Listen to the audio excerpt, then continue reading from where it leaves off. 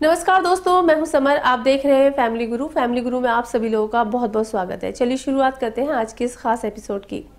दोस्तों, हर दिन किसी न किसी देवी देवता को समर्पित किया जाता है। हर एक दिन हमारी ज़िंदगी में एक अलग महत्व रखता है।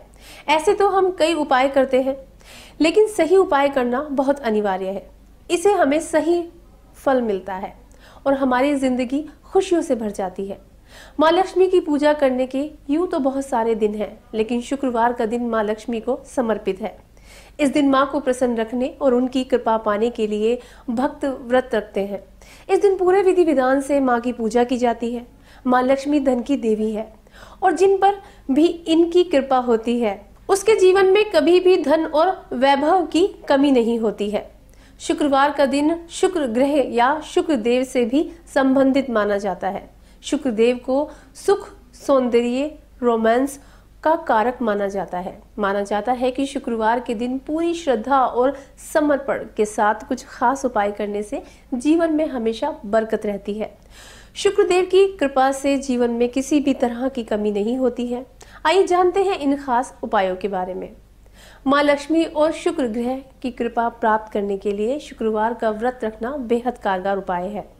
इससे घर में सुख समृद्धि आती है। माता लक्ष्मी और शुक्र देव कभी भी गंदगी में वास नहीं करते, इसलिए इनकी कृपा चाहते हैं। तो अपना वातावरण शुद्ध रखें और घर में साफ़ सफ़ाई पर भी विशेष रूप से ध्यान दें। शुक्रवार का दिन सफ़ेद रंग से संबंधित होता है, इसलिए इस दिन ज़्यादा से ज़्यादा रंग का इस्तेमाल करना चाहिए। शुक्रवार के दिन सफ़ेद रंग के वस्त्र पहनकर ही पूजा पाठ करना चाहिए। व्रत रखने के साथ ही इस दिन शुक्र ग्रह से संबंधित चीज़ों का दान करना भी शुभ रहता है। शुक्रवार के दिन सफ़ेद रंग की चीज़ों का दान, जैसे कि चावल, दूध, दही, आटा और मिश्री दान में दे सकते हैं। इसके अलावा शुक्रवार के दिन चीटियाँ और गाय को आटा खिलाना शुक्रदेव की कृपा होती है। भगवान विष्णु के बिना माँ लक्ष्मी की पूजा अधूरी मानी जाती है। इसलिए शुक्रवार के दिन भगवान विष्णु और लक्ष्मी का साथ में पूजा करनी चाहिए। यानी कि इन दोनों की साथ में पूजा करनी चाहिए। इससे धन, धान्य और वैभव की प्राप्ति होती है। तो दोस्तों, उम्मीद करती हूँ कि शुक्रवार के उपाय आपको बेहद पसंद आए होंगे।